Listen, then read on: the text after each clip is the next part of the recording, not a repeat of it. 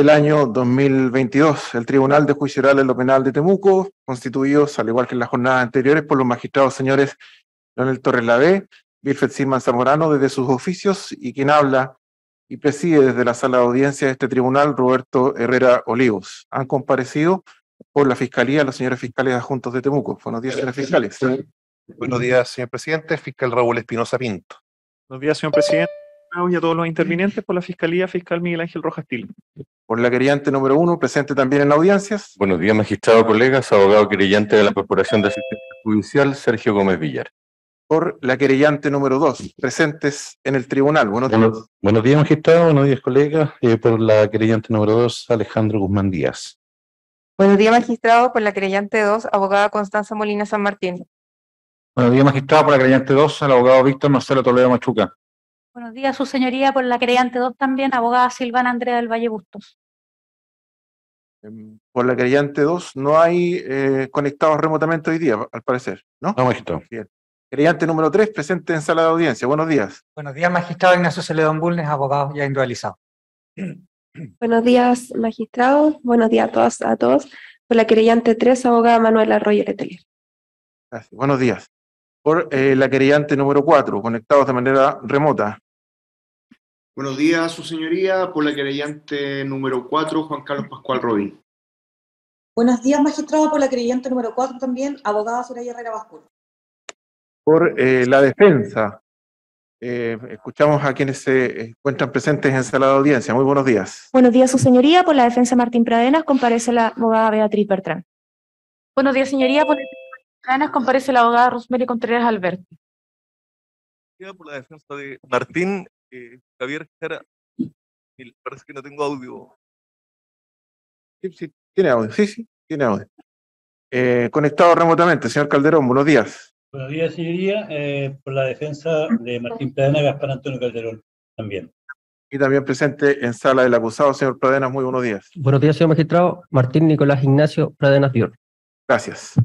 Como se había además indicado ayer, vamos a escuchar las alegaciones de clausura de los intervinientes por el tiempo ya previamente acordado, ¿no es cierto? Eh, con especial énfasis le solicita el tribunal que, eh, a propósito de esta instancia procesal, eh, se aboquen a la eventual configuración de los tipos penales por los que presentaron sus respectivas acusaciones. Señor fiscal, el tiempo previamente acordado son 30 minutos, ¿es cierto? Eh, no sé quién hará uso de la palabra, pero a partir de este momento lo escuchamos. Muchas gracias, señor presidente.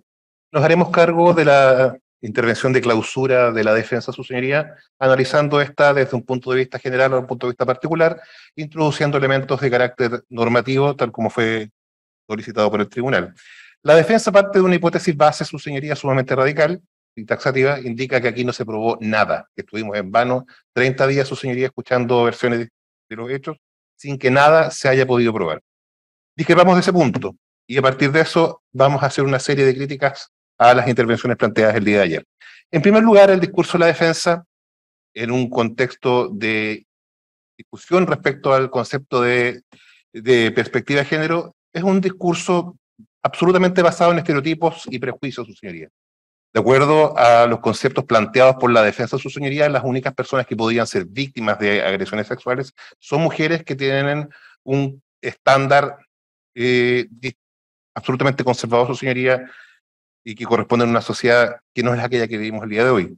En ese término se parece al concepto de doncella utilizado antaño por el legislador penal, su señoría, el cual afortunadamente ya fue superado. En base a esa eh, idea, su señoría, de acuerdo a lo planteado el día de ayer en las críticas que hizo la defensa al actuar de las víctimas de estos antecedentes, una mujer por el solo hecho de estar borracha ha de asumir que puede ser violada, su señoría. Una mujer que tiene un encuentro íntimo de cualquier naturaleza e intensidad con un hombre, ha de entender que éste, cuando lo desee, puede hacer lo que quiera con ella. Entendemos, su señoría, que esas conclusiones son riesgosas y podrían llevar, entre otros elementos, a entender que la violación entre cónyuges es una conducta impune. Por otro lado, su señoría, es un discurso que se basa en la teoría de la conspiración.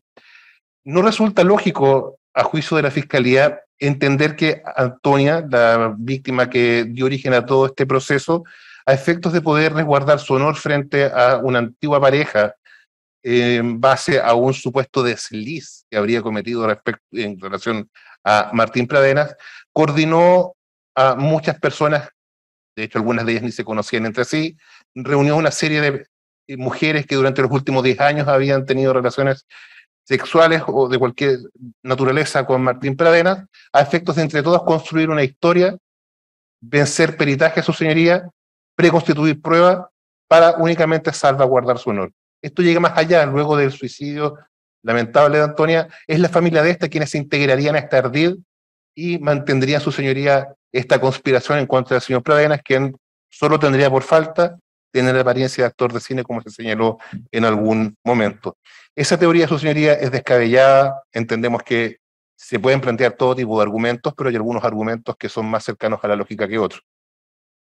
En tercer lugar, entendemos que existen una serie de errores conceptuales respecto a las pericias cavas que se expusieron en estrado durante la saga al juicio. La defensa parte por un error señalando que son informes de veracidad o credibilidad de relato. Su señoría quedó establecido cada vez que expusieron los peritos que se trata de informes de análisis de testimonio. Informes que tienen una metodología distinta a la que antaño tenían los informes de veracidad o credibilidad de relato y que concluyen no si el relato es creíble o no.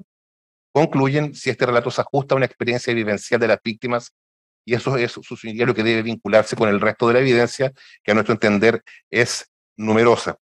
A partir de esto, su señoría, la defensa desdeña de estas pericias, salvo un caso en particular, en el cual resulta que la pericia es afortunada. Se trata del hecho 4, relativo a Valentina, en el cual la perito Karen Cleveland plantea algunas hipótesis de contaminación, su señoría, que no son relativas a hechos en materia de imputación. Ella fue clara al defender su pericia, al señalar su señoría que esto está dado únicamente por una posible violación e imposición a tocar los genitales del acusado por parte de la víctima. Ello a partir de las dudas que la propia víctima de forma sincera plantea, cuestión que ella misma en cuanto perito lo valora de forma positiva y señala que aumenta la credibilidad de su versión. El punto llega a su máximo tratándose de derecho número 5, su señoría, relativo a la víctima Francisca, en el cual la Fiscalía, por razones distintas a las que sugirió la defensa, no presentó la pericia Cabas. Su señoría, se trata de una pericia y no puede ser valorada, no fue presentada, nada podemos decir a ese respecto. Si fuese efectivo lo planteado por la defensa en orden a que es una prueba que va en contra de la teoría del caso de la Fiscalía, entendemos que en su momento, estando disponible para la propia defensa, la pudo integrar a su catálogo de evidencia y exhibirla en juicio. Eso no se hizo, su señoría. Por otra parte, la defensa también renunció a pruebas psicológicas pericial psicológica y psiquiátrica. Yo podría decir perfectamente a su señoría que esa es una evidencia que perjudicaba a la defensa y que afianzaba la teoría del caso de la fiscalía. Pero no lo diré a su señoría porque eso no es procedente por las razones que ya señalé. Por otra parte, para ir concluyendo los aspectos generales de la intervención de la defensa, sí solución a una serie importante de inconsistencias en la evidencia presentada.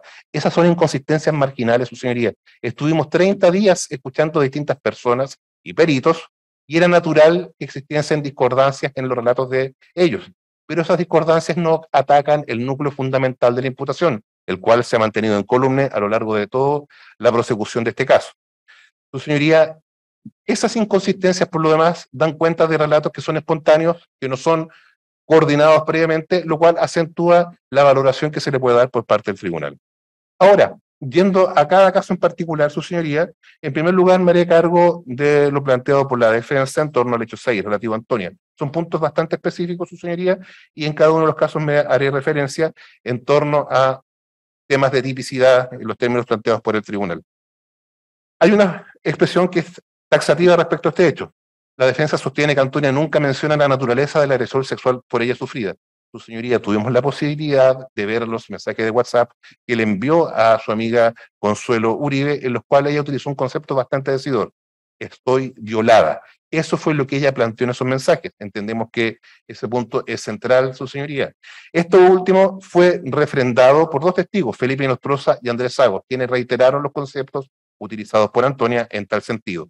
Adicionalmente, tal como lo planteó el colega Miguel Rojas el día de ayer, se presentó evidencia que da cuenta que Antonia, al despertar el día 18 de octubre, vio que Martín Pradenas estaba sobre ella. En tal sentido, ese punto superado, a nuestro entender, en la- por la evidencia presentada. Respecto a los videos con saltos cronológicos en los que Antonia se vería, conforme a la tesis de descargo, sonriendo, besándose y abrazándose con Martín Pradenas, entendemos que los videos se ve algo más que eso, su señoría. También se ve una mujer tambaleando, que camina con dificultad, que es conducida a tirones, su señoría, y que se afirma en Martín Pradenas, producto de su estado de ebriedad, quien por lo demás es quien adopta una conducta activa al ser él quien besa a una mujer que está absolutamente ebria, tal como se puede ver en las imágenes. Resulta curioso una pregunta que hizo la defensa a lo largo del juicio y que fue planteada el día de ayer en orden a que a Antonia no se le verían sus genitales en ese video y que a Martín Pradenas no se le vería su lengua. Su señoría, lo que se ve en ese video es a Martín Pradenas arrodillado, arrodillado de forma frontal a Antonia con su cabeza a la altura de la vagina de Antonia, su señoría, mientras ésta intenta alejarla de él, empujándole la misma, sin lograrlo por su estado de intemperancia. Esos, esas imágenes hablan por sí solas, su señoría, y transforman en absurdas las preguntas que planteó la defensa. Respecto a los saltos de, cronológicos del video, ese punto fue superado. Los guardias del supermercado, su señoría, declararon el motivo de los mismos. Son cámaras que funcionan con detectores de movimiento. Al mismo tiempo, señalaron, habiendo estado presentes, que no señalaron nada a su señoría que no estuviese en el video. Y que hay saltos cronológicos, lo que ocurrió entre medio es irrelevante, porque los testigos presenciales no advirtieron nada que fuese necesario plantear ante UCIE. Al mismo tiempo, se planteó una pericia tendiente a acreditar esos saltos cronológicos es una más de los elementos de conspiración que ya ha sido aludido. Se presentó un perito, su señoría, para tales efectos, que ni siquiera supo distinguir cuál era la evidencia a analizar y quedó absolutamente desacreditado. Sobre este punto, la defensa aludió de forma reiterada al testigo Ruperto López, su señoría, como un testigo que salvaguarda los intereses en el fondo de la defensa, omitiendo que este último señaló claramente el grave estado de intemperancia alcohólica en el que se encontraba Antonia, añadiendo cómo esta era trasladada a tirones por el propio acusado. Eso no fue planteado por la defensa y entendemos que esa declaración también debe ser valorada, en ese mismo sentido. Respecto a los cuestionamientos a la evidencia digital que se reunió los antecedentes, no hay ni una pericia, su señoría, que señale algún daño efectivo provocado a los metadatos. El contenido, por lo demás, de todas las evidencias digital fue ratificado por quienes originaron la misma. Todos quienes mandaron mensajes de audio dijeron, sí, ese es mi audio íntegro. Todos los, que, los videos que se grabaron fueron reconocidos, su señoría, por quienes lo hicieron. No hay ninguna razón por entender que esa evidencia fue manipulada, salvo los comentarios de un perito, su señoría informático, que utiliza la aplicación Paint para poder hacer su pericia. La aplicación que usan los niños de 8 años de edad para dibujar bigotes en fotografías. Ese es el nivel de la pericia planteada, su señoría. Respecto al medio de comisión, su señoría, se trata de una violación en los términos del artículo 361, numeral segundo del Código Penal. Antonia se acreditó que estaba absolutamente ebria. Los testigos plantearon en tal sentido, peritos, su señoría del Servicio Médico Legal plantearon en tal sentido. Sus funciones corticales superiores estaban disminuidas, no tenía posibilidad alguna de discernir en materia sexual.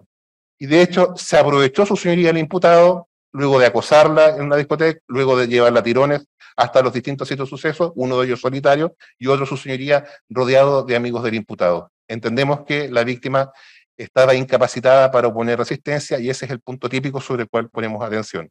Respecto al hecho 1, relativo a Paulina, la víctima cuestiona la ausencia de relato e invoca la ley de entrevista videograbada para señalar que ese relato no puede ser sustituido por el audio de la pericia. Su señoría, la entrevista videograbada dice relación con víctimas que al momento de declarar sean menores de edad.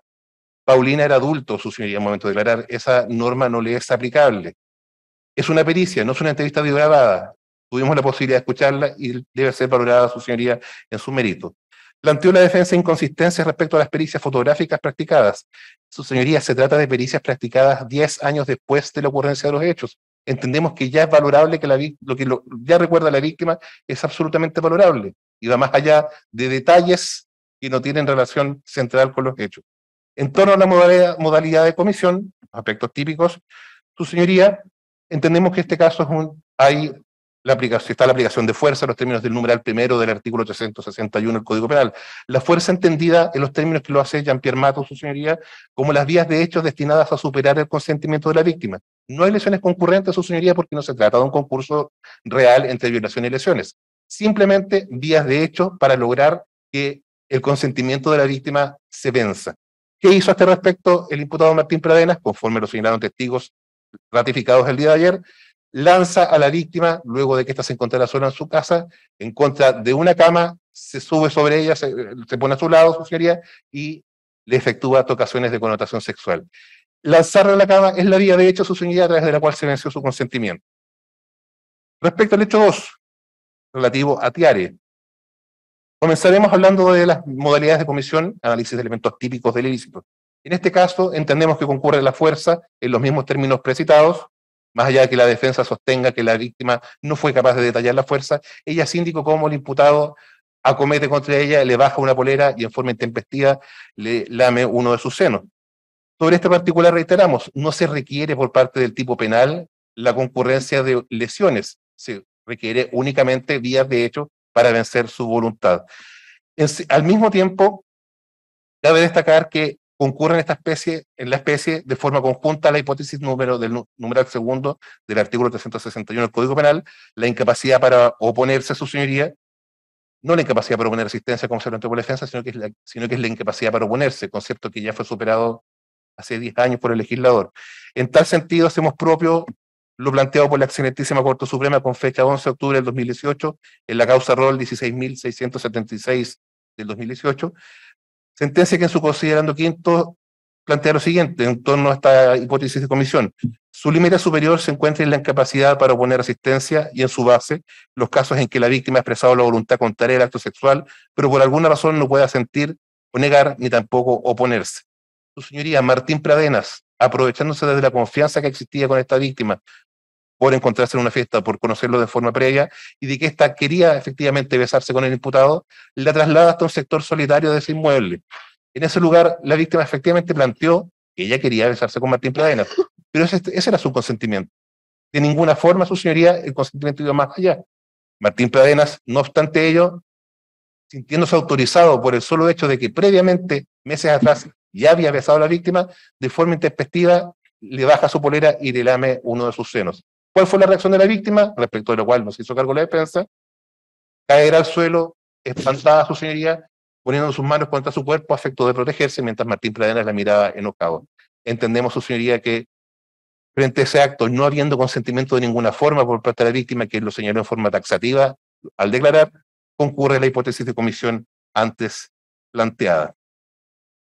La víctima ataca en este caso la falta de connotación debida, que, pero la defensa ataca la falta de connotación que le dio la víctima a este hecho, indicando que al día siguiente se limita a comunicarlo con emoticones a un grupo de amigas por redes sociales. Su señoría, desde hace bastantes años que esa es una forma habitual en adolescentes de comunicarse, no podemos criticarlo y negar su validez en base a que, que estamos en una eh, etapa etaria distinta. Más allá de eso, su señoría, escuchamos el testimonio del psicólogo, Hernán Saavedra, quien planteó los efectos que sufrió la víctima y que no fueron planteados por la propia defensa. Esos efectos dan crédito a la experiencia que ella vivió. Ese es el daño que ella sufrió. Sobre este punto, la defensa aludió adicionalmente a la testigo Gabriela Soto, quien no solo no estuvo en el cierto suceso, sino que de forma clara manifestó no recordar nada sobre tal punto.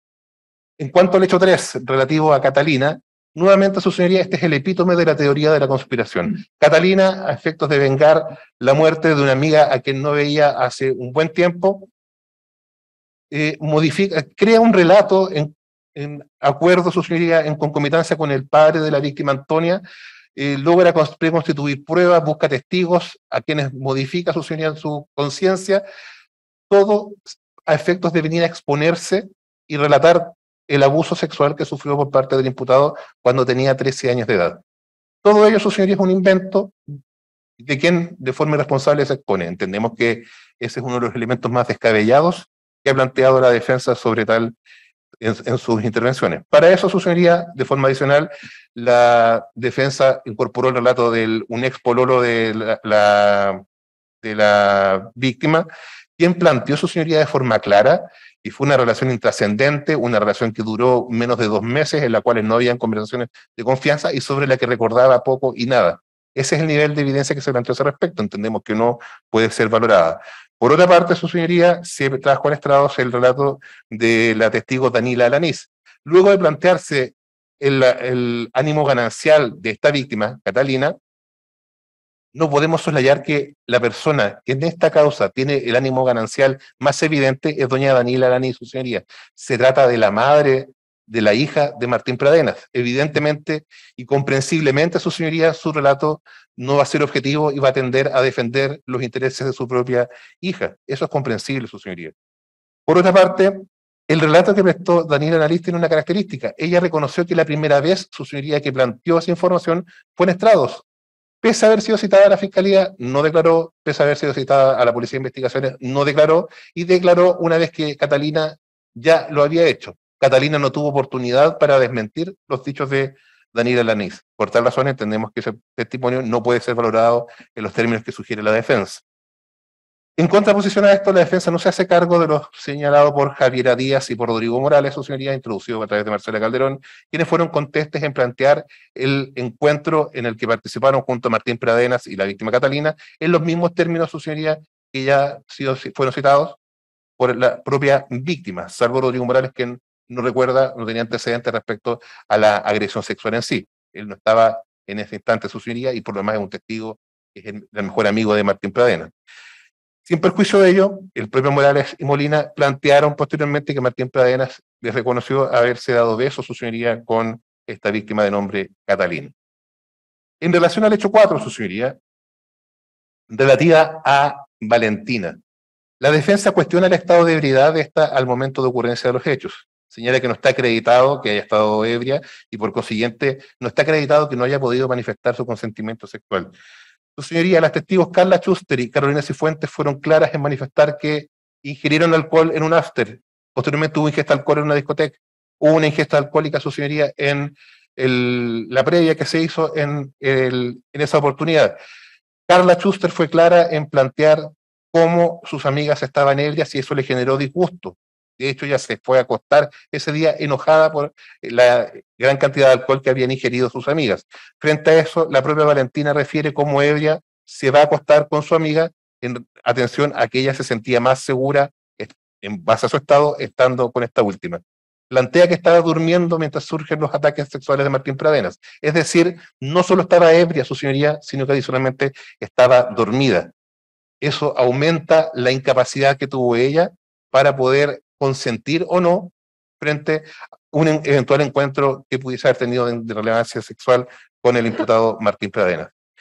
La defensa plantea que Carla Schuster escuchó una serie de besos mientras estaba acostada en la cama, besos que se estarían dando ellos dos. Su señoría, Carla Schuster no indica que alguien, quién besó a quién, lo único que señala que fueron besos lo que ella escucha. Ella estaba durmiendo, se sorprende frente a lo ocurrido y en un primer momento se enoja y se va, pero posteriormente relató cómo en base a la reacción de Antonia, ella luego sale del lugar. En cuanto a la eh, inconsistencia de los testigos en relación a la actitud que adoptó la víctima Valentina, su señoría, la persona que estaba sobria ese día, que estaba más sobria, Carla Schuster, indica cómo tuvo que contenerla, cómo se acostó con ella para calmarla, y posteriormente la defensa no se hace cargo de los graves daños psicológicos que ella sufrió, referidos por su tío Álvaro Rodríguez Sepúlveda y por Karen Cleveland. Hubo intentos de suicidio, su señoría, esto perfectamente pudo haber sido otro caso, Antonia, más. En cuanto a la modalidad de comisión, 361, numeral segundo, su señoría, la víctima no estaba en posibilidades de consentir y Martín Padadenas se aprovechó de eso. En cuanto al hecho 5, relativo a Francisca, el punto en este caso, en cuanto a la modalidad de comisión, es la hipótesis del artículo 2, pero del, del numeral segundo del artículo 161. La víctima estaba incapacitada de oponerse. La defensa planteó que la víctima tenía sus capacidades cognitivas intactas y que la cantidad de alcohol que ella ingirió no fue suficiente para entender que estaba incapacitada para consentir sexualmente. Su señoría, las testigos Sofía Gajardo y Florencia Toiber plantearon cómo Francisca llegó ebria a esa fiesta, ingirió alcohol durante esa noche, señalan que se deseaban ir de esa fiesta debido a lo borracha que estaba Francisca, quien posteriormente despierta en una casa en la que por primera vez estaba desnuda y sin saber en qué, dónde se encontraba. Ese es el estado de borrachera en el que se encontraba la víctima y el cual la defensa le intenta bajar el perfil.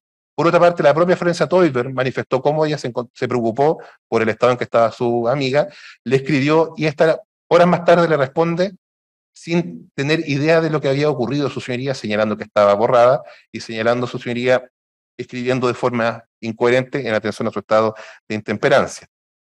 Sobre este particular, cabe destacar que la víctima sí presenta los moretones que la defensa desdeñó. Fueron exhibidos en la audiencia y fueron explicados por la propia víctima. Sobre este particular, la hipótesis de fuerza no está invocada en este caso, pero el relato fáctico plantea cómo el imputado tomó fuertemente a la víctima. Es un elemento que le da credibilidad y fuerza adicionalmente a su señoría al punto y que también puede ser considerado como un elemento típico por parte del tribunal. Respecto a la actitud adoptada por la víctima durante la fiesta, la defensa plantea a su señoría como la víctima le coqueteó a Martín Pradenas, cómo se mantuvo con esta, pero eso no autoriza a Martín Pradenas a mantener una relación sexual violenta con ella. Se trata de una víctima borracha, su señoría, en palabras de ella, estaba borrada no podemos entender a partir de eso que eso autoriza a Martín Pradenas a hacer lo que hizo. El consentimiento sexual de la víctima, su señoría, va más allá de lo que el imputado desee plantear. En cuanto al reconocimiento que hizo la víctima, su señoría Martín Pradenas, se trata de una mujer, su señoría, que nunca había estado con Martín Pradenas en una casa que estaba borracha. Evidentemente, al momento, al día siguiente, intenta reconstruir los hechos. Sabía que había estado con estos sujetos, no sabía su nombre, consulta a sus fuentes más cercanas. Lorenzo Toifer, quién era esa persona, le dan el nombre y posteriormente lo ratifica mediante redes sociales. Es lógico lo que hizo ella, su señoría, y no merece reproche. Es lo que cualquier persona haría. Respecto a su actitud posterior a los hechos, cuestiona la defensa que la víctima haya sostenido como respuesta no cuando se le preguntó por Florencia Toiber si había sido violada. Su señoría, la víctima manifestó que hasta el día de hoy siente culpa hasta el día de hoy siente culpa por haberse emborrachado, siente vergüenza por haber desilusionado a su familia. Evidentemente, frente a terceros, tal como ella lo planteó, su conducta iba a ser la de intentar ocultar la vergüenza y la culpa que sentía. No podemos pretender, su un comportamiento distinto a ese respecto. En relación a la fotografía en la que ella aparece sonriendo, también dio cuenta clara de sus dichos y señaló cómo su señoría ese instante había dejado de llorar y por tal razón era casi una especie de mínima esperanza que tenía frente a lo que ocurrió. El comportamiento posterior, planteado por su madre en estado, su señoría, y planteado por ella misma, es consecuente con lo que yo acabo de afirmar. Se trata de una víctima que perdió amistades, tuvo una baja de su rendimiento académico, subió 20 kilos con su madre, y eso es a, consecuencia de lo que ocurrió. También se escuchó en audio, en auto, tal punto. Su señoría, en cuanto a la prescripción de la acción penal no nos haremos cargo, es un tema que ya ha sido superado a lo largo de la saga del juicio y está claro por lo resuelto por los tribunales respectivos que ese es un asunto al fondo que debe ser resuelto por este tribunal en base a la acreditación de los hechos que eventualmente pudiesen interrumpir el lapso de la prescripción. No reiteraremos más argumentos a eso, será resuelto por usted en su sentencia. Su señoría, para terminar, el Estado de Chile, conforme al artículo 5, inciso segundo de la actual constitución política de nuestra República, plantea que la soberanía nacional se encuentra limitada por los tratados internacionales relativos a derechos humanos. Uno de esos es la Convención de Belém do Pará, su señoría, a través de la cual el Estado asume el compromiso de erradicar toda forma de violencia contra las mujeres. Se considera, su señoría, una garantía fundamental y por lo mismo el Estado asume estos compromisos, el compromiso de reprimir este tipo, las conductas planteadas en este juicio, de perseguir las mismas su señoría y de resolver los asuntos con perspectiva de género, de ponerse en el lugar de las víctimas su señoría que han vivido en una sociedad que por general reprime sus denuncias, intentar comprenderlas. Esta obligación el día de hoy se transforma en una oportunidad, su señoría, se transforma en la oportunidad para que el Estado de Chile dé una vuelta de tuerca y deje atrás una cultura de violación que ha inspirado, su señoría, la normalización de este tipo de conductas a lo largo de la historia republicana. Es una oportunidad única que tenemos el día de hoy, su señoría, para lograr, a través de los efectos de prevención especial positiva, su señoría, de la pena, lograr que las mujeres vivan en una sociedad que las valore, que las respete y que les permita caminar libres por las calles. Es algo tan básico, su señoría, como caminar con un poco menos de miedo. La única forma en la que la personalidad de un ser humano se puede desarrollar en forma plena es partiendo por poder caminar sin miedo por las calles. A partir de eso, su señoría, reiteramos la petición de la Fiscalía en orden a dictar veredictos condenatorios por todos y cada uno de los hechos que fueron imputados a Martín Pradena. Muchas gracias, señor fiscal. Vamos a continuar entonces en el mismo orden que ya había sido podrían ocurrencias, ¿cierto? En nuestros juicios. Escuchamos al señor Gómez por el tiempo respectivo. Son eh, siete u ocho minutos prudenciales, ¿cierto? Gracias, señor le presidente. va a avisar cuando le resten dos minutos. Gracias. Vamos a ceñirnos en todo caso el tiempo concedido eh, y responder con los énfasis que se ha solicitado por parte de su señoría. Respondiendo específicamente a las argumentaciones de la defensa en su alegato de clausura, en primer término, la defensa reprocha, en el caso número dos, que la víctima no refiere uso de la fuerza y, final, también reprocha en este punto que solo eh, a consecuencia de un ejercicio que realiza este querellante, la víctima responde.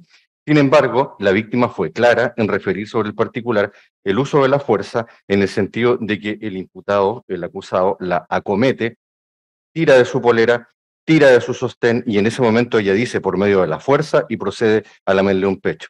En ese sentido, señoría, también es dable hacer presente que el relato referido por la víctima tiene el mismo valor tanto de manera propia como como consecuencia de un ejercicio procesal que, por cierto, se encuentra además contemplado en la ley.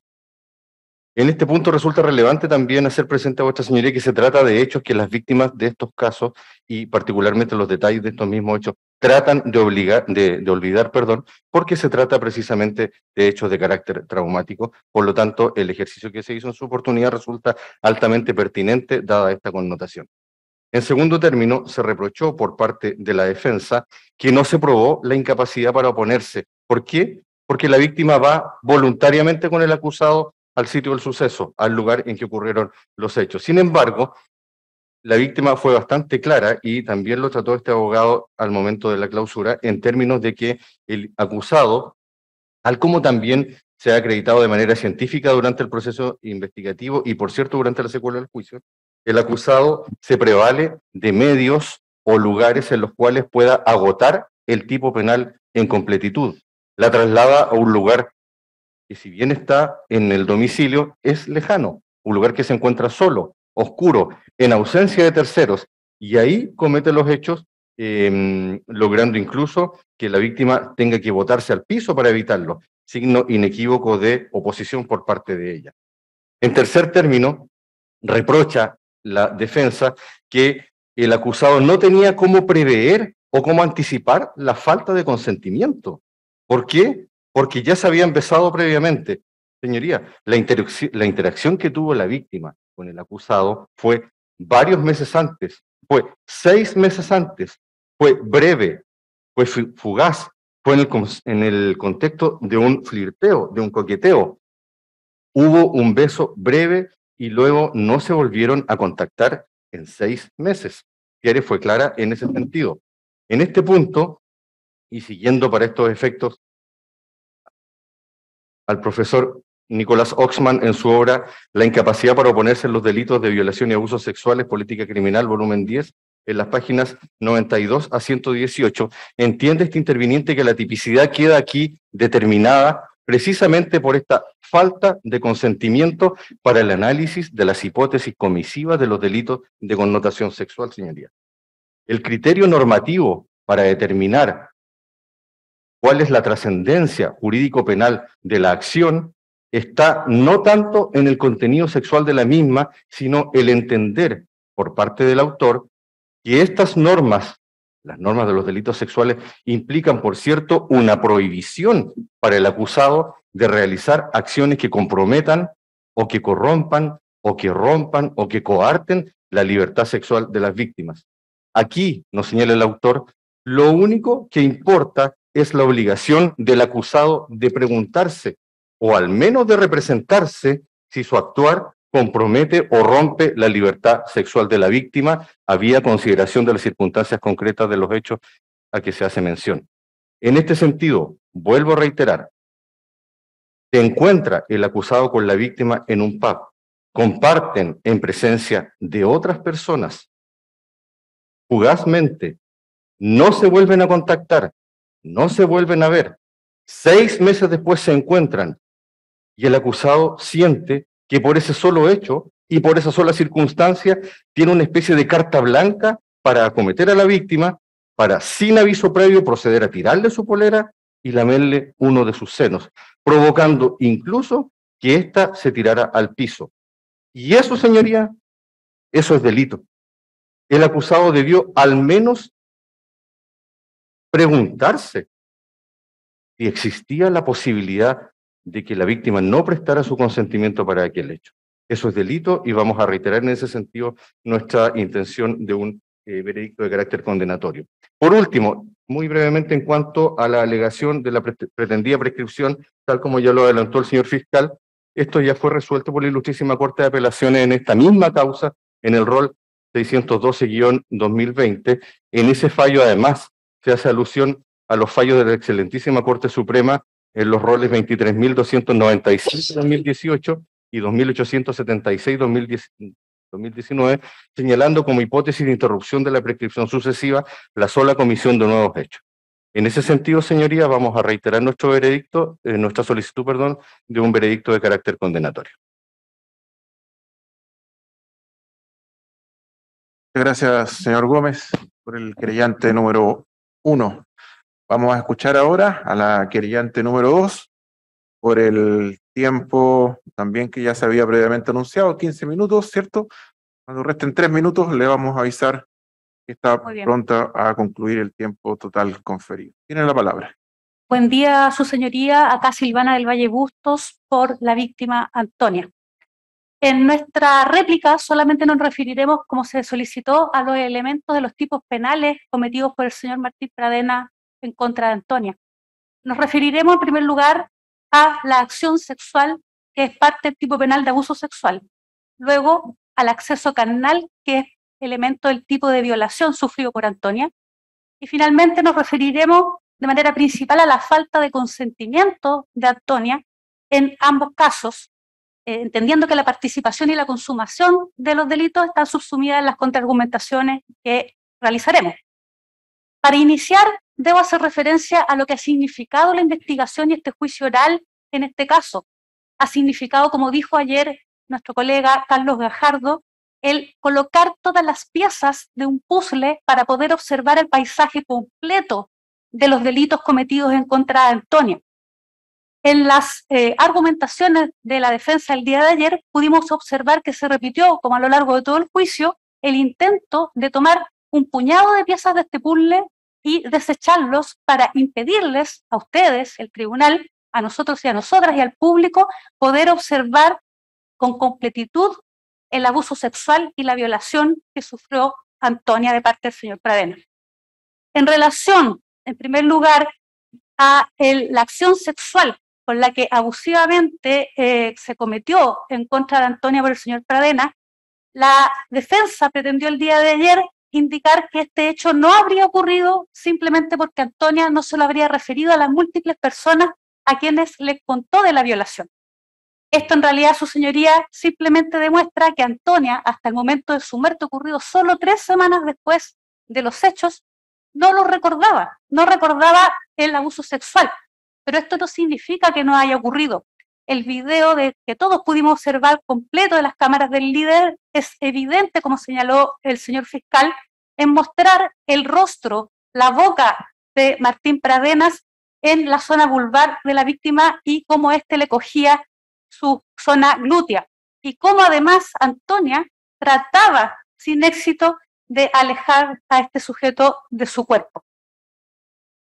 Este, esta falta de recuerdo fue aprovechada por el señor Pradenas desde su declaración voluntaria ante la PDI y la Fiscalía, donde mintió respecto de su desplazamiento en el líder, omitiendo que había ingresado al mismo y omitiendo fundamentalmente estas acciones sexuales.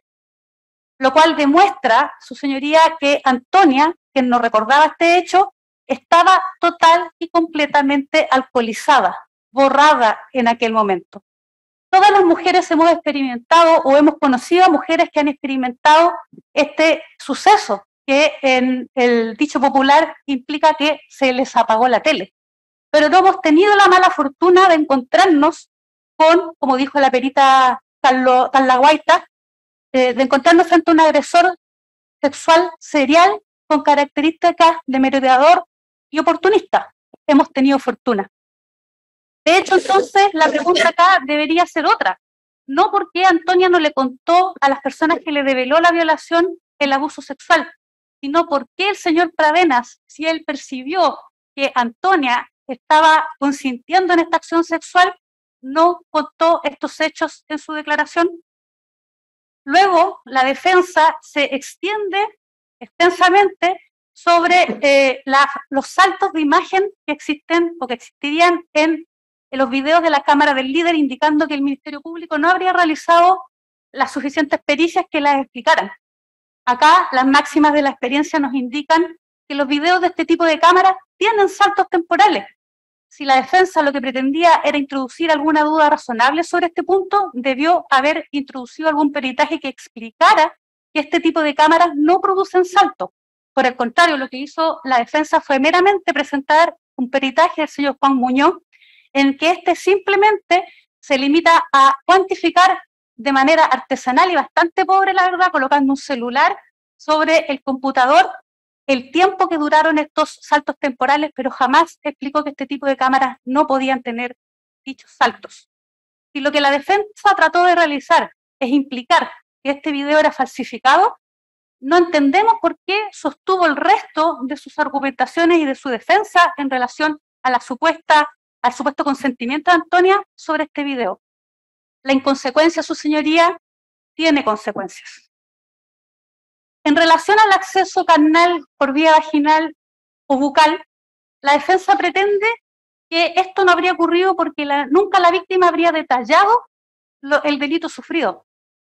Pero, su señoría, todos escuchamos que la víctima fue violada. Escuchamos a la propia víctima en su relato desgarrador, en los audios que completamente pudimos escuchar en este juicio, diciendo que fue violada en más de una oportunidad.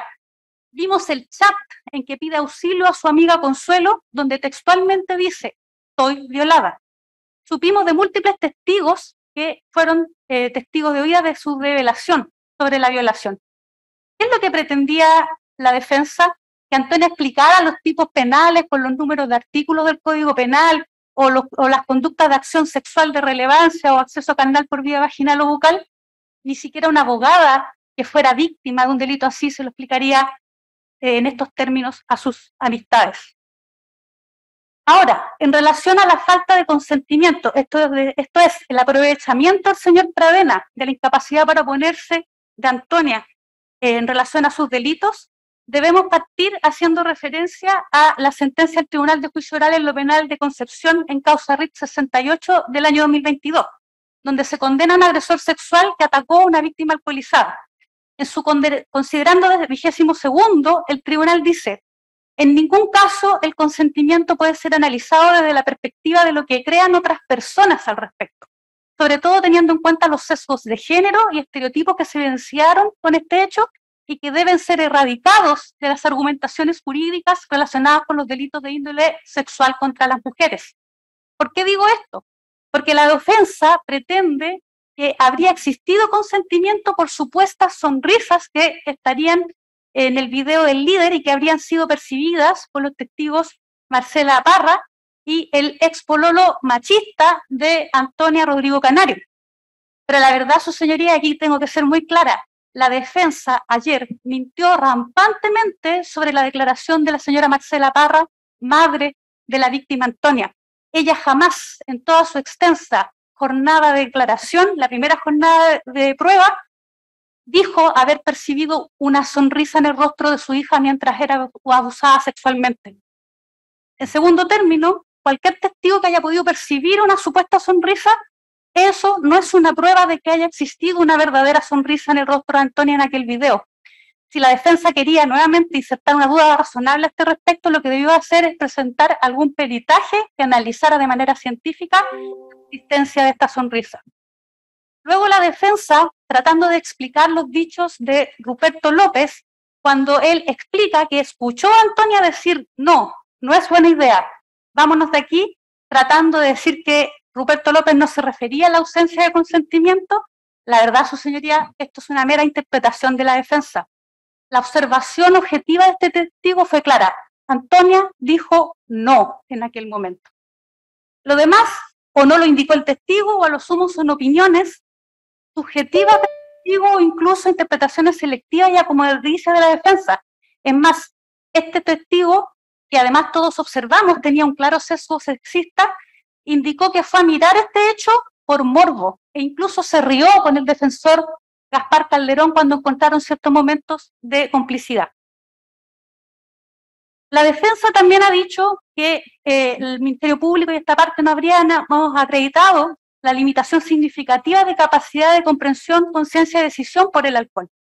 Pero la verdad, su señoría, es que se presentó un completísimo informe del Servicio Médico Legal donde tres profesionales expertos analizaron la alteración de movimientos de Antonia, analizaron la conducción de los movimientos en el video del líder por parte de Pradena eh, hacia Antonia. Incluso en un momento el perito Cabrera nos ha dicho que nunca observó en todo el desplazamiento de Antonia que hubiese habido un desplazamiento autónomo. Estos peritos analizaron los movimientos contrarios del cuerpo de Antonia para alejarse o alejar al señor Pradenas de su cuerpo. De esto no se hace cargo la parte contraria. Es más, su señoría, en este peritaje se pudo demostrar que existe una dificultad de reacción por parte de Antonia y todos sabemos que las personas alcoholizadas tienen una baja percepción de riesgo y una reducción de reacciones cuando están alcoholizadas. Es por eso precisamente que existe el delito de manejo en estado de ebriedad en nuestro país. Ahora, este peritaje no podía referirse a otros elementos del video, porque no existían estos elementos para poder ser analizados. No obstante, la expertise de estos peritos nos permitió eh, deducir y definir y explicar cómo se producen los fenómenos neuronales, médicos y emocionales del alcohol en el consentimiento. Hay una falta de consentimiento. Luego la defensa nos ha mentido otra vez sobre la declaración de la madre de la víctima en relación a eh, que ella habría detectado que tenía Antonia las piernas chocas como ella. La verdad es que la madre de la víctima la aclaró, la aclaró a la señora defensora que lo que quiso decir sobre el caminar de Antonia es que ella vio cómo le pesaban las piernas a su hija. No es que era un andar como chueco, porque a mí, a ella, a la madre, no se le doblan las piernas ni a Antonia por lo chueco. Explican eh, la defensa cómo diversos testigos relatan que Antonia estaba eufórica, bailando, caminando, conversando el día de los hechos, y tratan de desacreditar al mismo tiempo los dichos de varios testimonios en base a supuestas contradicciones. Pero omiten que Antonia, como todos vieron en los videos y como vieron también los testigos, tiene conductas propias de una persona alcoholizada. Y además omite la defensa que en realidad estas supuestas contradicciones provienen de relatos que se dieron a varias semanas después de los hechos y en estrado a casi dos años de la, de la ocurrencia de los mismos y que por lo demás, en lo medular, todos estos relatos son contextos. La parte, la parte de la defensa intentó finalmente tratar de revivir la idea de que Antonia ha usado o, siguió utilizando un polerón que le pertenecía al señor Pradena, pero omitió dos cosas absolutamente relevantes, que la foto del polerón de Antonia data del 2018 y que además el mismo Perito Muñoz finalmente reconoció que cuando dijo que estas prendas, los polerones de Antonia, y de Martín era la misma pena, en realidad se refería a que, a eran polerones de tipo cazador. Es absurdo intentar deducir consentimiento con esta supuesta prueba. Finalmente, su señoría, haré algunas eh, referencias finales a los argumentos de la defensa. Te quedan tres minutos. Nos resulta absolutamente ofensivo que la defensa pretenda distinguir entre la violación consentida, o sea, perdón, la violación no violenta y la violación violenta parece haberse quedado la defensa en la idea de las siete partidas, como dijo el señor fiscal respecto de la violación. La misoginia y la revictimización que se ha vivido durante este juicio por parte de la defensa, una reproducción de la violencia vivida contra Antonia eh, por parte del señor Pradena, es lo más grave en este juicio. Se ha atacado a la familia Barra Parra, se inventaron declaraciones de la señora Marcela Parra, se intentó culpabilizar al padre por no tener toda la certeza en un momento de shock al hacer la denuncia. No conoce la defensa las normas sobre derecho sucesorio, no conoce la defensa las normas nacionales e internacionales que señalan que padre y madre son víctimas indirectas de este tipo de delito. En definitiva, su señoría, el suicidio femicida y las agravantes son cosas que haremos referencias en la audiencia del artículo 343, pero en este punto es importante señalar que existe una eh, equivocación fundamental por parte de la defensa respecto de qué es lo que es la perspectiva de género. Ellos nos han dicho que no puede ser aplicada la perspectiva de género en desmedro de los derechos del imputado. La, la colega está leyendo para que le recomiende que las exposiciones son orales, por favor. Sí, escuchó el magistrado Eh, Torres. Adelante. Señoría, Termine con el. Eh, Este punto es importante, su señoría, porque en realidad la perspectiva de género es una perspectiva de justicia, al igual que los derechos humanos del imputado y que se deben aplicar a través del artículo quinto de la Constitución Política de la República actual. No existe pugna entre los derechos humanos de las mujeres y de los imputados. Además, su señoría, eh, aplicando la perspectiva de género, este tribunal, como dijo el señor fiscal, va a tener la oportunidad de aplicar el artículo séptimo, letra E de la Convención Belén du Pará y convertirse en un órgano del Estado que aplique las medidas apropiadas que nos permitan superar las prácticas consuetudinarias y las prácticas jurídicas que siguen tolerando la violencia hacia las mujeres. Su señoría, el llamado es a que este tribunal condene al señor Pradenas por sus conductas, por los delitos cometidos con las normas actualmente vigentes en Chile y que permita así transformar a este tribunal en un órgano estatal que esté colaborando en la erradicación de la violencia hacia las mujeres y las niñas. Muchas gracias, su señoría. Gracias, señora querellante. Vamos a escuchar ahora por 10 minutos las alegaciones de réplica de la querellante número 3. Cuando le resten dos minutos para completar el tiempo ya indicado, el tribunal le avisará. ¿Quién va a tomar la palabra? Adelante, la escuchamos. Muchas gracias. Me referiré a los eh, elementos del tipo penal, como así también a las argumentaciones de la defensa. Debe quedar en claro que no hay líneas borrosas respecto al consentimiento. Esto ha sido establecido por las Naciones Unidas, por ONU, Mujeres. El consentimiento para acceder a un intercambio sexual debe ser libre, voluntario, activo, despojado de presiones, manipulación o influencia de las drogas o el alcohol. No es no, y en eso no hay interpretación. Un no, no lo sé, un silencio no son sinónimos de consentimiento. Nadie puede dar su, su consentimiento si está inconsciente o en un estado mental alterado, por ejemplo, bajo los efectos del alcohol o las drogas. Pero ello no obsta a que un acto de violación sea violento per se y que deje marcas en el cuerpo y en el alma. Nos dijo la defensa ayer que esta parte había intentado probar una violación violenta, pero las violaciones son violentas per se, la propia etimología de la palabra lo dice. Las marcas corporales son una prueba de la corroboración del testimonio de la víctima Francisca. Son su testimonio, junto también al de las testigos Florencia Toiber y Sofía Gajardo, dan prueba de un hecho que constituye la causal del delito de violación, la causal de la incapacidad de oponerse, el estado de ebriedad de Francisca. Como lo señaló la testigo Florencia Toiber, ella estaba llegando antes en estado de ebriedad, no se le entendía lo que decía, tambaleaba. A las cuatro de la mañana, al momento que se fueron, nos contó también. Estaba peor, no se le entendía nada, su equilibrio era pésimo. De este hecho también es conteste Sofía Gajardo, quien refiere que al retirarse de la fiesta, Francisca estaba muy bebida y ya no se entendía lo que hablaba. Francisca quedó sola en la fiesta, borracha con su agresor. Recordemos que en una primera instancia se negaron estos hechos que ni siquiera se conocían, pero el 24 de noviembre del año 2018, la prueba testimonial, las fotografías, acreditan la factibilidad, factibilidad situacional, mismo tiempo, un mismo espacio. Y acreditan las agresiones sexuales en contexto de ingesta de alcohol, y esta incapacidad que se deriva de la incapacidad de oponerse del propio testimonio de Francisca. ¿Qué nos dijo Francisca? En el patio había una habitación que según yo era una bodega. Ahí yo tengo unas imágenes que estaba con Martín Pradenas, donde él me tenía tomada de ambas muñecas, me tenía agarrada con fuerza, y bueno, estaba detrás mío penetrándome, y yo le decía que parara porque me dolía, y él no me hizo caso, me tomó con más fuerza, y mi espalda me agachó por la fuerza. Después de eso, una segunda imagen, yo estaba sobre él, y estaba sin polera, sin ropa, y como yo, me acuerdo que estaba con una luz tenue en la habitación, y le vi educar al cuerpo, yo tenía las manos ampolladas en su pecho, resistiéndome lo que estaba sucediendo. Eso es todo lo que recuerda que haya marcas de sometimiento solo corroboran la causal de incapacidad de oponerse.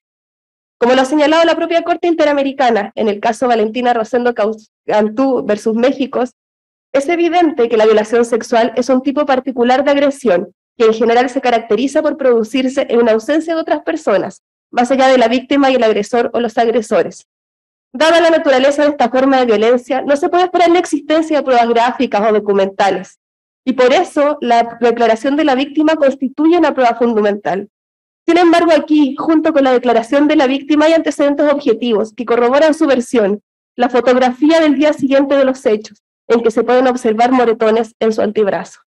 Las lesiones y las máximas de experiencia nos dicen que estas lesiones revelan sometimiento y violencia, moretones que todos vimos, pero que aquí parece que la, única, que la defensa fue la única parte que no los vio. Los testimonios, las conversaciones de WhatsApp, el hecho de asistir al hospital y acceder a la pastilla del día después, la prueba documental acredita la existencia de relaciones sexuales. Estos hechos incluso fueron revelados por la propia víctima a su madre, Levita Ojeda, al día siguiente, quien nos relató, lloraba, lloraba y lloraba. Me dijo, tuve relaciones sexuales con alguien que no conocí. ¿Por qué? Porque estaba con mucho trago. Primera vez que me pasa algo así. No me acuerdo qué pasaba esa noche.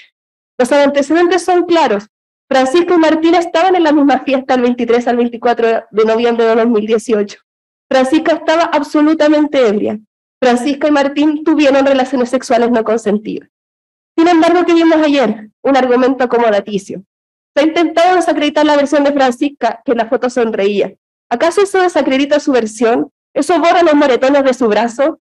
Francisca lo dijo, que después de llorar quiso paz.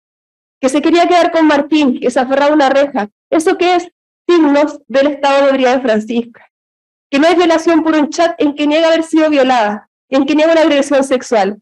La culpa, la vergüenza, el dolor, tal como se explicó en el clausura, trataba de ocultar y de negar una violación lo que es normal para todas estas víctimas. Finalmente, la defensa intenta revivir la idea de un supuesto montaje, que las víctimas denuncian para apoyar a Antonia. Esto no es más que desconocer el fenómeno de la revelación, que es un complot. Por favor, pudimos ver la vulnerabilidad de todas las mujeres que estuvieron acá, lo duro que fueron las declaraciones para ellas y sus familias. Poder decir que aquí hay un ánimo ganancial es realmente injusto. Pues bien, la fiabilidad en el tiempo y la coherencia en el tiempo del relato de la víctima, su coherencia interna y externa, permiten generar una convicción más allá de toda duda razonable de la existencia de este delito. Pero hagámonos cargo de algo más. ¿Por qué las víctimas no denuncian? Porque en muchas ocasiones son revictimizadas, expuestas incluso a argumentaciones como la segunda tesis de la defensa, que las víctimas son responsables por no haber denunciado, porque pese a que no denunciaron, terminan a ser no creídas Tenían miedo de que nadie les creyera. Tenían vergüenza, tenían culpa. Pero tal como se concluye este juicio, tras la muerte de Antonia, reviven lo sufrido y deciden denunciar. Y por eso es necesario también aplicar la perspectiva de género, porque nos permite ver y entender la situación de desventaja en que hemos vivido y continuamos viviendo las mujeres, y que es aceptada como natural. Se señaló, la Convención de Belén du Pará, vigente en Chile desde 1998, establece la obligación del Estado de erradicar todas las formas de violencia contra la mujer. Y la violencia sexual es una de las transgresiones más graves y profundas sobre las mujeres. Es uno de los peores tipos de violencia ejercida hacia la mujer y por ello es indispensable la aplicación de esta perspectiva, porque nos permite poner en foco las situaciones de discriminación, de desigualdad y violencia en que viven principalmente las mujeres. Fallar con perspectiva de género no es activismo judicial, es aplicar el principio de igualdad frente a la ley y de no discriminación, es hacer un esfuerzo por sensibilizar y visibilizar los derechos de las mujeres, por interiorizar la importancia y la trascendencia y el significado de los derechos de las mujeres de vivir una vida libre de violencia. Me quedan tres minutos. Significa no utilizar estereotipos de género que perpetúan discriminaciones y desigualdades. Significa ser más justos. Por estas consideraciones, señoría, por estas consideraciones solicitamos que se condene al imputado por el delito de violación en contra de Francisca con Costa. Muchas gracias.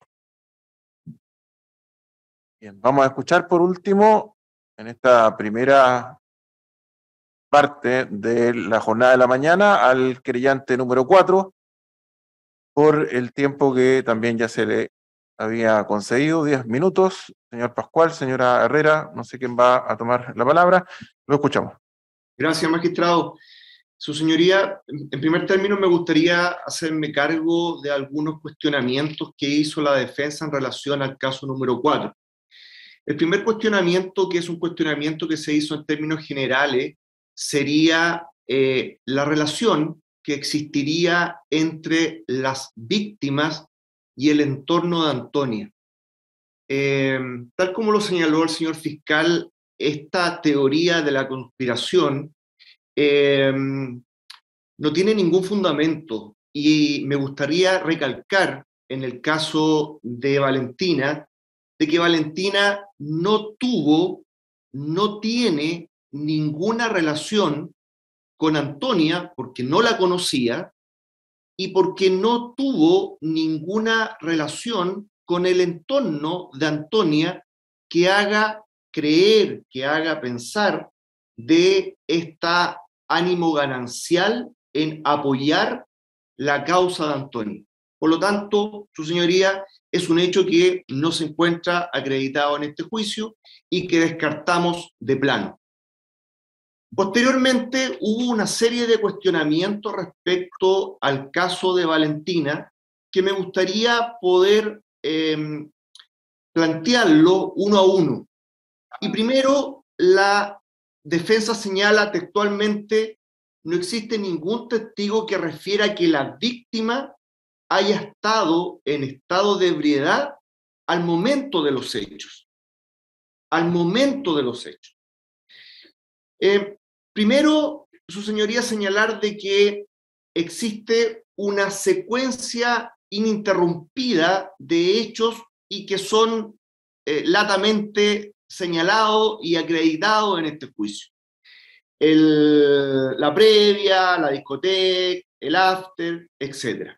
Sin embargo, su señoría, existen parámetros de tiempo que son importantes recalcarlo. Eh, coinciden los testigos de que la discoteca terminó a las 4 de la mañana y que ellas estuvieron hasta las 4 de la mañana en la discoteca. También Valentina señala de que la previa, perdón, el after fue de alrededor de una a dos horas. Lo dijo en su declaración. Por lo tanto, no cabe ninguna duda de que la hora en que Valentina se fue a acostar debió ser alrededor de las 6 de la mañana. Y que al momento de acostarse hay una testigo, que es Carla Schuster, que evidenció el avanzado estado de ebriedad por parte de mi representada, por las razones que todos sabemos.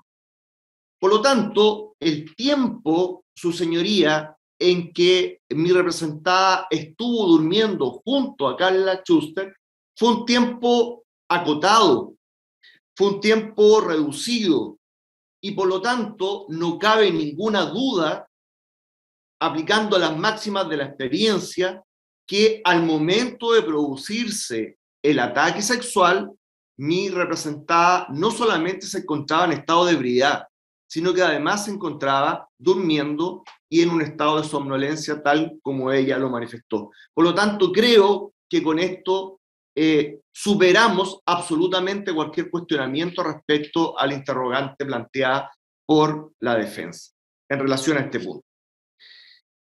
Respecto al hecho, su señoría, de que mi representada habría cambiado de posición, se habría besado con el acusado y que la testigo Carla Schuster habría señalado de que ella sintió besos. Su señoría, esa circunstancia la descartamos absolutamente. Obviamente, mi representada señaló en este juicio que ella en algún en, en un momento ella cambia su posición y que los besos obviamente se necesitan dos personas para que se produzca un beso se requiere una interacción. Otra cosa distinta es que mi representada haya dado consentimiento para dicha interacción. Y Valentina fue clara frente a las preguntas tanto del fiscal como de esta parte de que ella no consintió dicha situación. Por último, su señoría, hay dos circunstancias que la verdad para esta parte querellante son detalles mínimos, pero que me voy a referir a ellos para que no quede el, el, el, el cuestionamiento. Sebastián efectivamente señala eh, en su declaración, tanto en su declaración abierta como frente a las preguntas realizadas por esta parte, de que él entendió cuando conversó cinco años después de lo hecho con eh, Valentina, entendió de que Valentina le habría señalado de que ella habría gritado.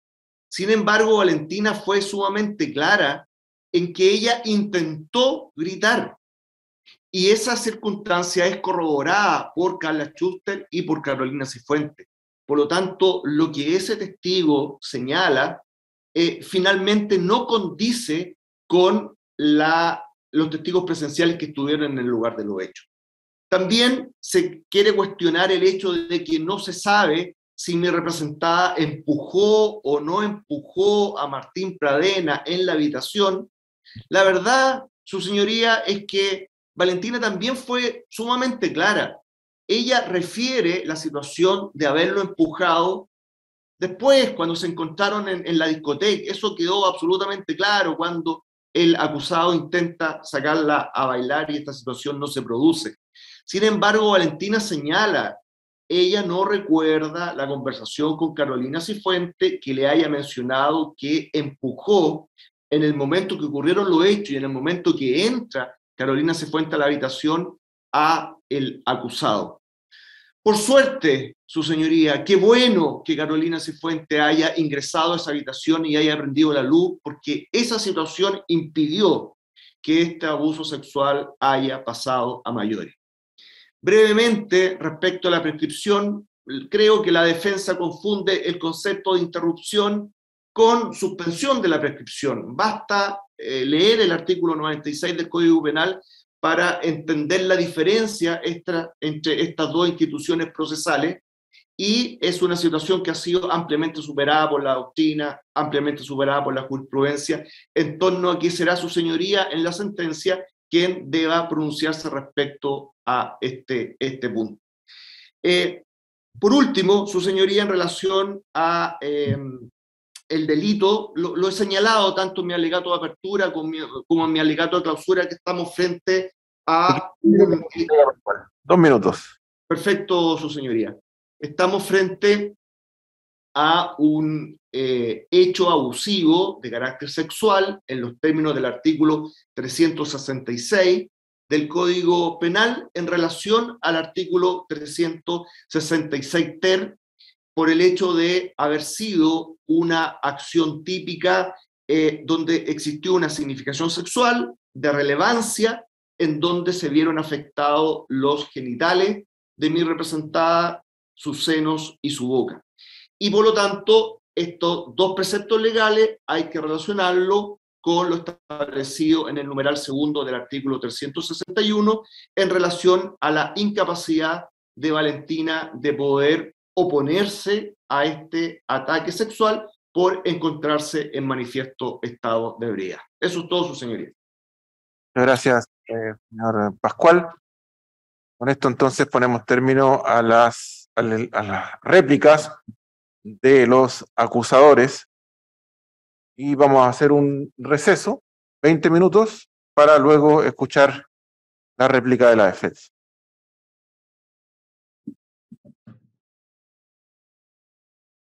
Escuchando las réplicas de la defensa por el mismo eh, tiempo que se le concedió a la Fiscalía con anterioridad.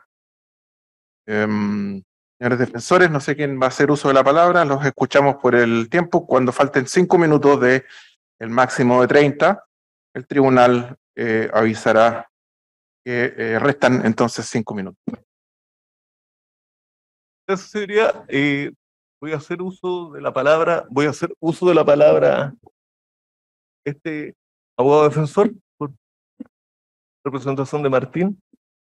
Y lo primero que vamos a señalar, señoría, es que Ayer se hizo un llamado concreto y preciso por este tribunal. ¿Cuál fue? El que los acusadores, partiendo por la fiscalía, luego el acusador particular y luego el, este, los acusadores adherentes, eran cargo de los eh, elementos normativos del tipo por el cual se acusó. Esto tiene que ver, su señoría, con algo esencial, porque en derecho penal hay algo que se llama tipicidad, que es el encuadre del tipo con la conducta que supuestamente eh, la parte acusadora dice que se probó y la defensa dirá que no se probó. Era necesario, era necesario. Y creemos, señoría, que este elemento no fue probado y ni siquiera fue aludido en forma concreta y precisa por los acusadores en su réplica. Y este, esta introducción hacemos tiene que ver con cada uno de los casos y cada una de las intervenciones. Pero en primer término, no puedo dejar pasar alguna alusión seria a lo que se señaló respecto de eh, la pericia de vinculación de casos y a los supuestos elementos comunes que habían entre uno y otro. La verdad es que, como el tribunal podrá haber advertido, señoría, lo único común, esto lo hago también respecto de lo que el tribunal llamó ayer, es que no era necesario este peritaje. ¿Por qué? Porque lo único común que hay en esta, eh, en esta serie de acusaciones es el denunciado que es conocido. Se llama Martín Pradenas. Todo lo otro, su señoría, es un conjunto de hipótesis sin corroboración ni método científico.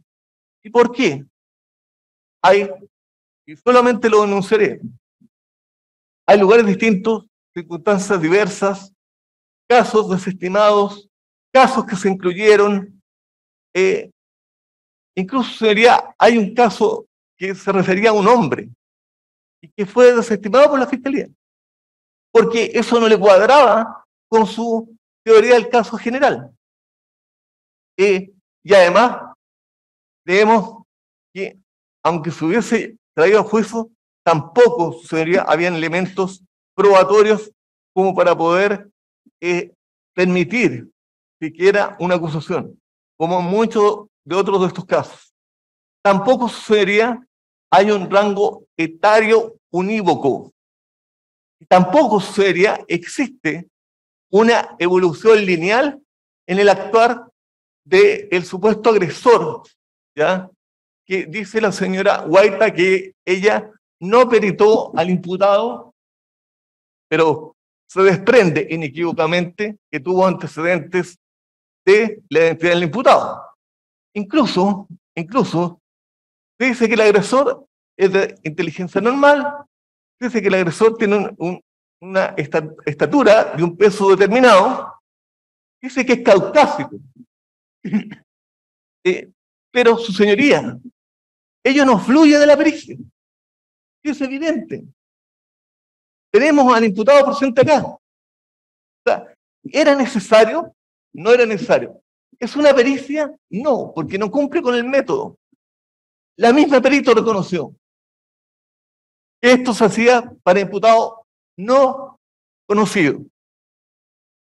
Eh, pero además, lo único, el único elemento común también es que de alguna u otra medida, y esto lo voy a decir con responsabilidad, no es una teoría conspirativa, su señoría, por favor. De alguna u otra forma, hay una conexión en cada una de las denuncias, que es la comunicación que tiene don Alejandro Parra, querellante en esta causa, con los distintos casos y las distintas denunciantes.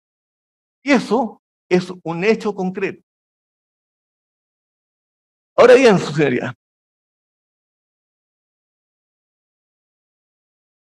los, en segundo lugar, los acusadores, y ya entrando en materia, aludieron a la falta de consentimiento en general, como si nuestro legislador dijera o prescribiera en la, normativa penal invocada por ellos mismos, eh, que el tipo penal es, es eh, falta de consentimiento, esa es la única modalidad, ¿ya? Y que lo otro no existe.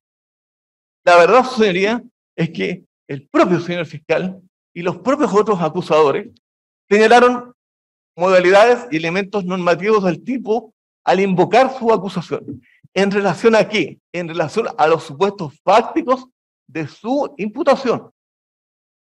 Y eso no se ve corroborado en la prueba. No está corroborado en la prueba. Por lo tanto, no se puede llegar a un hecho acreditado. Y aquí la falta de consentimiento tiene que ver o, se tiene que trasuntar en, la, en los elementos normativos. ¿Cuáles son los elementos normativos? La fuerza, ¿ya? Y además, la incapacidad para oponerse. Son dos los elementos normativos que tienen que estar al momento de ejecutarse la conducta. Esos elementos normativos no fluyen de la prueba, ni siquiera de forma indiciaria. Ahora bien, respecto de la falta de prueba de los elementos típicos de las conductas imputadas en relación al hecho número 6, que es el primer hecho, que es de la víctima Antonia, la prueba en su, en su conjunto mostró, en su conjunto, mostró su capacidad volitiva para oponerse en forma intacta. Por ejemplo, en el video del líder y en la declaración de Roberto López y Tegualda Riquelme, y en las demás declaraciones, si uno hace un conjunto y una, una, una síntesis de, la, de los medios probatorios rendidos, se debe señalar que en, ese, en el camino, desde la salida del eh, Salamurano hacia eh, la cabaña, Antonia tenía su capacidad para ponerse intacta. Tanto es así seria que la capacidad de alerta estaba, eh, estaba vigente. Golpearon el portón del supermercado. ¿Y qué dijo ella? Dijo, no. Dijo, eh, este, no, mejor vámonos de acá. No es un buen lugar, vámonos. Eso quiere decir que tenía capacidad para manifestar y autodeterminarse. Incluso por eso se van de ahí. Lo dice el testigo, señor Roberto López, testigo presencial de lo que dijo Antonia. Eh, señoría, respecto, y, esto haré un paréntesis acá, respecto del video del líder. La verdad que no necesitamos al perito eh, de la defensa, al señor Juan Antonio Muñoz, para señalar lo siguiente. El video tiene una falta de integridad. ¿Por qué? Porque el ejercicio que la defensa hizo con el señor César Sáez fue claro. Ese ejercicio demostró que en el video habían problemas de cronología y secuencia. El video no corre el reloj en forma ininterrumpida, sino que corre en forma parcial, se frena. Y eso no es producto, su señoría, de que la cámara haya sido, este, haya tenido una doble modalidad, manual o automática. Porque si eso hubiera sido así, ¿ya? El reloj hubiera sido, hubiese sido seguido corriendo. Y eso no ocurre, su señoría, y lo vimos con el perito, con César Sáez. Eh, y esto también se ve reflejado con la declaración de doña Tegualda Riquelme. Eh, ella dice que no sabe las características de la Cámara. Son elementos suficientes estos para acreditar que Antonia, previo a la, a la eh, estancia en la cabaña, tenía su capacidad para oponerse eh, vigente, válida, y la podía realizar. Tanto es así que la realizó. Luego nos transportamos al final, a cuando ya eh, llega su amiga Consuelo y supuestamente con el señor monje a la cabaña. ¿Qué, di- qué- qué dijo la prueba? La prueba dijo ¿ya? que ella salió de la casa. O sea, nadie la fue a buscar al interior de la casa. Ella salió de la casa en forma libre y espontánea. ¿Y con qué sale? Sale con un polerón. ¿Y de quién era el polerón? Del señor Martín Pradenas. Capacidad para autodeterminarse intacta. Llega donde sus amigos, se van, ¿ya? Hay una discusión si Consuelo entra o sale, pero lo importante es que ellos se van, pasan por fuera de un, eh, eh, o cercanos a, a Carabineros de Chile. ¿Y qué pasa ahí? Los amigos supuestamente le dicen, denuncia, denuncia. ¿Y ella qué hace?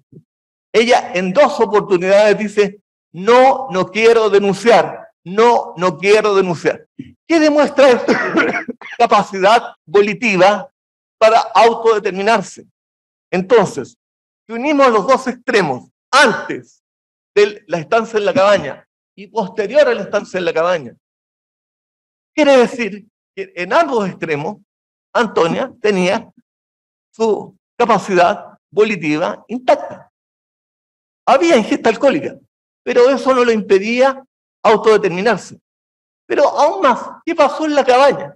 En la cabaña hay testigos que dicen que ella llegó eh, con ingesta alcohólica, pero ¿qué dicen los testigos?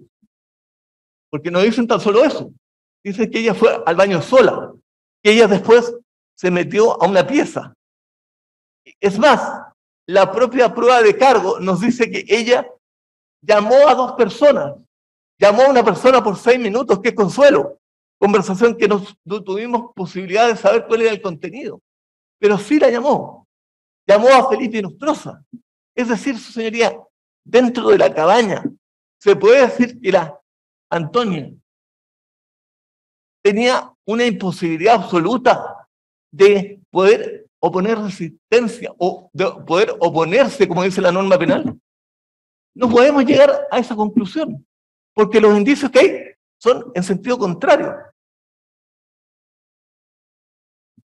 Entonces sería, tenemos que este,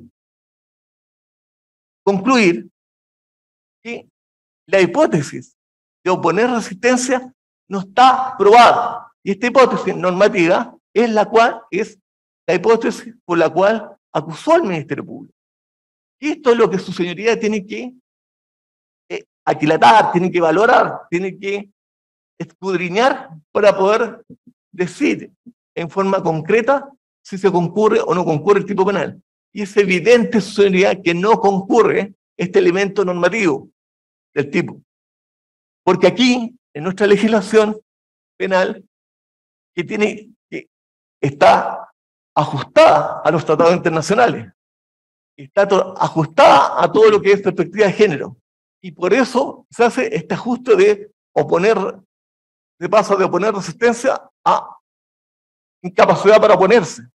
Pero aún más, la incapacidad para oponerse, no es tan solo a secas, sino que tiene que haber un aprovechamiento. El agresor, el agente, tiene que saber que la víctima tiene una este, incapacidad para oponerse y tiene que saberlo de tal forma que él se agencia esa, ese aprovechamiento. ¿Eso se probó, su señoría? ¿Hubo prueba respecto de eso? O sea, ni un activo probatorio respecto de aquello.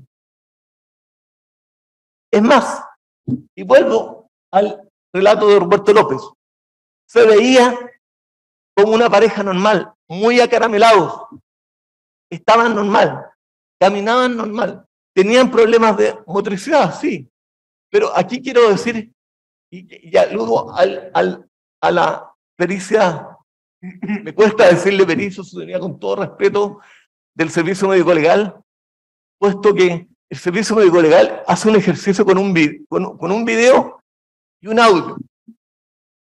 Y la verdad que respecto al video, su señoría, ¿quién mejor que yo? Y perdónenme que me coloque como ejemplo, pero este abogado tiene problemas de motricidad. Y muchas veces, quizás, si me captan en un video, me van a señalar como que estoy en una ingesta alcohólica, según el servicio médico legal, lo cual es bastante alejado de la realidad. Entonces, podemos determinar solamente con problemas motrices que una persona ingirió alcohol? No. Y eso es lo que hace el servicio médico legal. Porque cuando se le pregunta si tuvieron otros antecedentes, ellos dicen que no.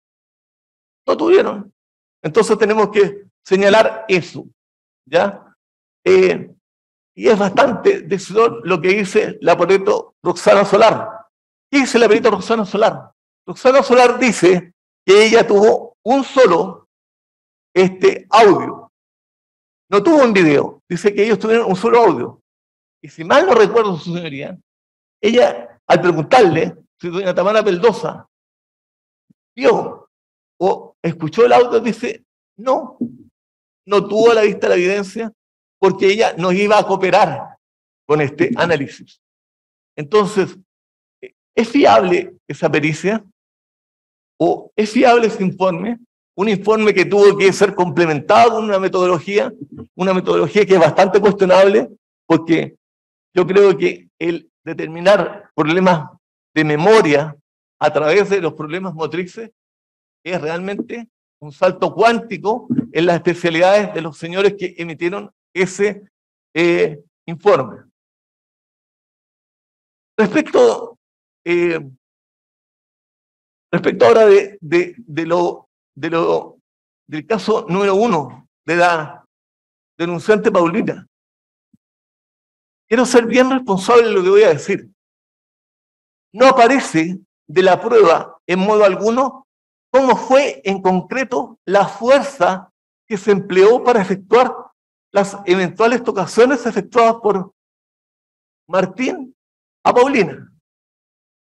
Que diga relación sucedería, y esto es lo importante, con, lo que se dice en la acusación fiscal. Porque eso es lo que importa.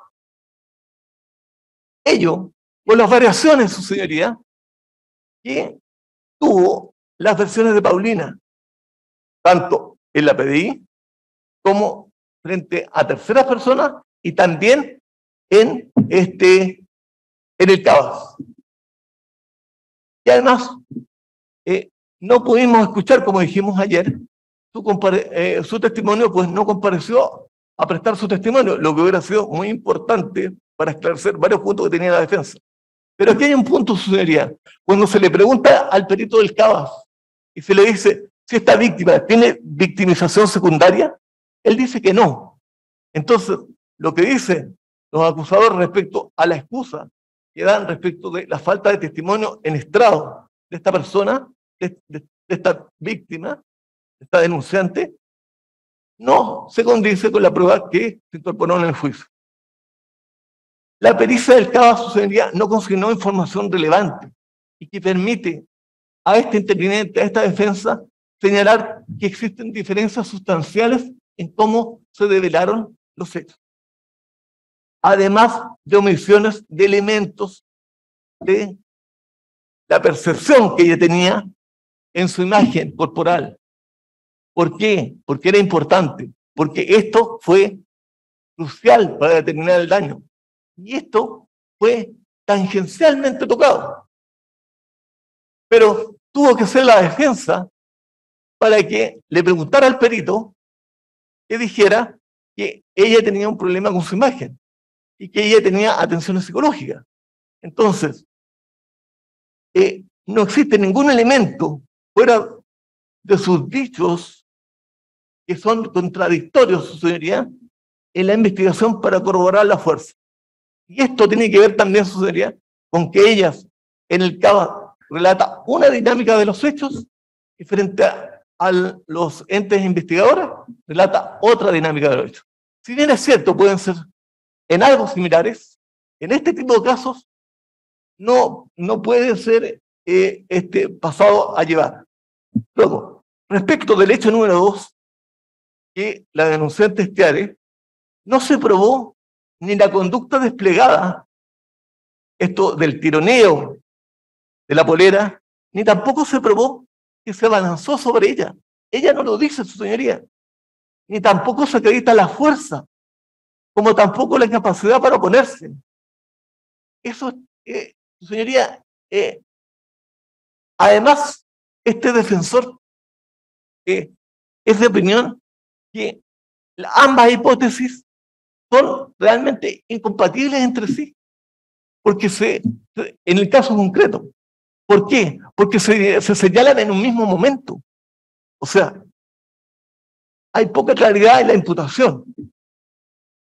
Eh, y hay otro elemento que quiero hacer presente respecto de, este, de este caso, es que ante el CABAS, ella dice que fue abusada eh, por un familiar y además dice que fue abusada por un entrenador del gimnasio. Y cuando la defensa le pregunta, pero estos hechos se denunciaron ante la, eh, los entes persecutores, ante la policía o ante el Ministerio Público, no, no se denunciaron. ¿Y por qué?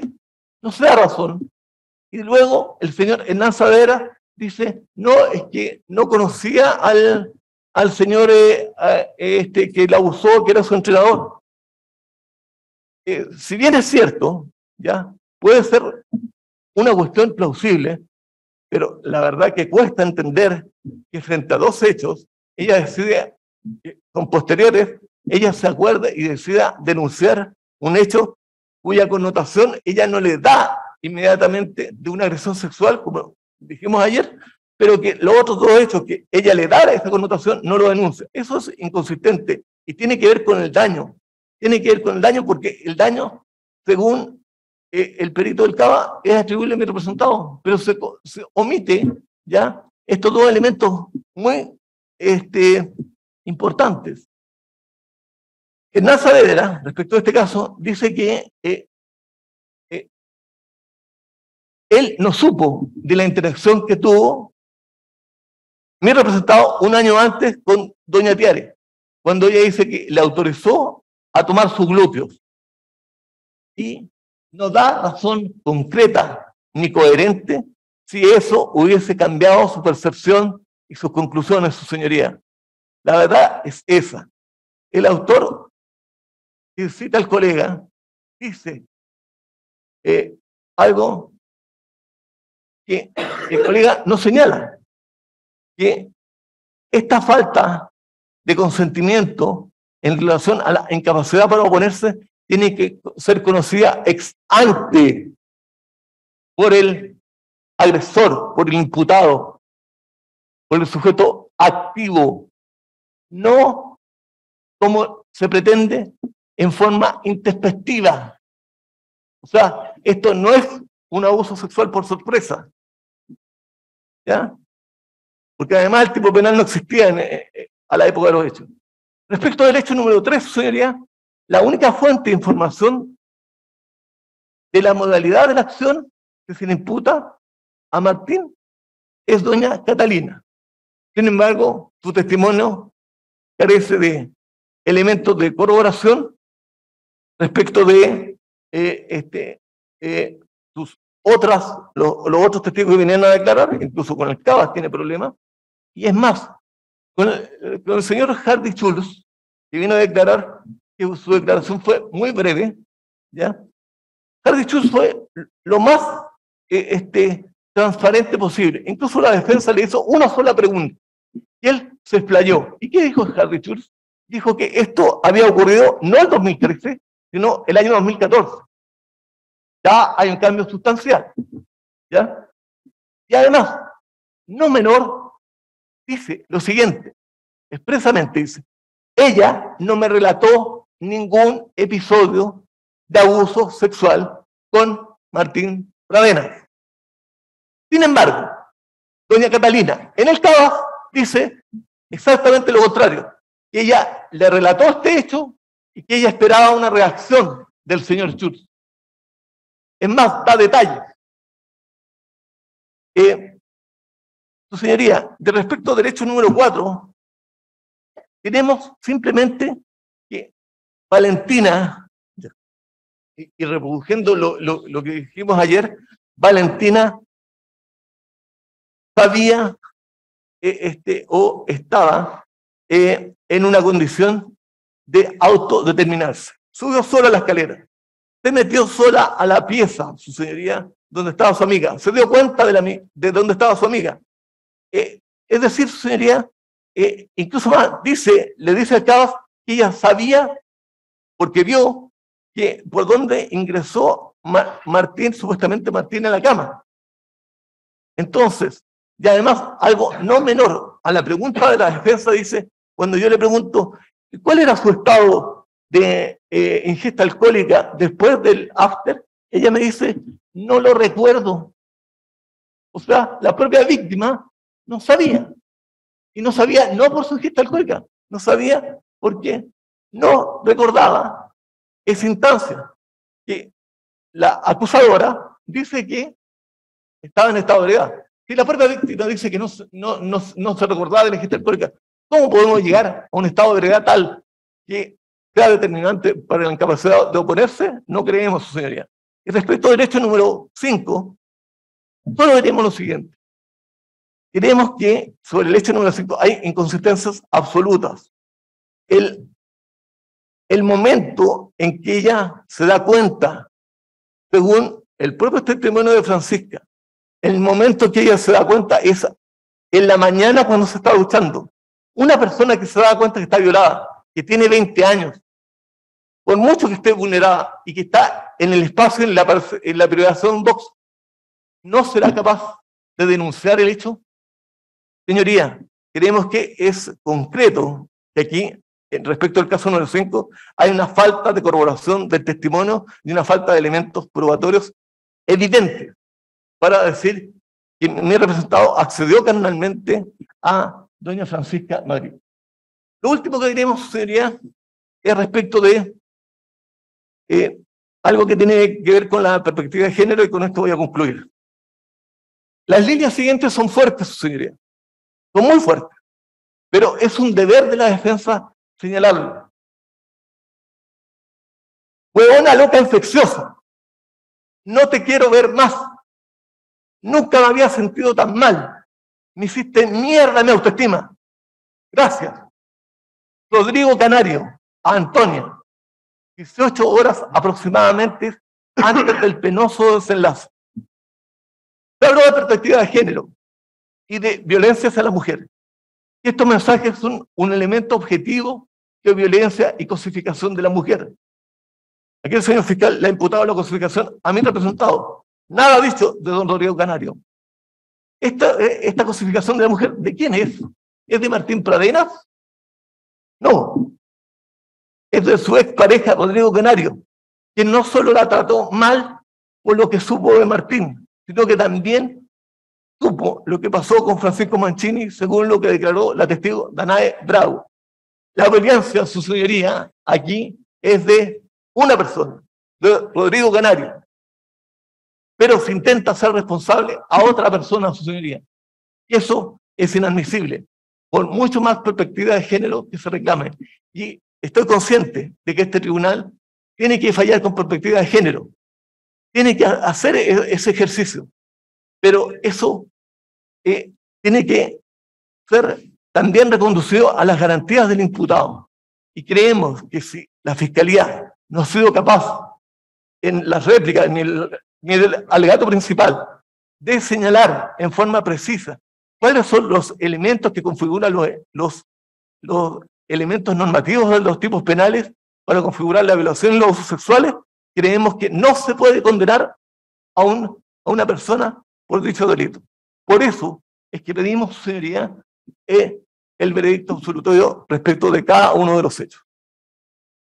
Muchas gracias, señor Jara, y agradecemos también como tribunal se haya ceñido al tiempo previamente concedido.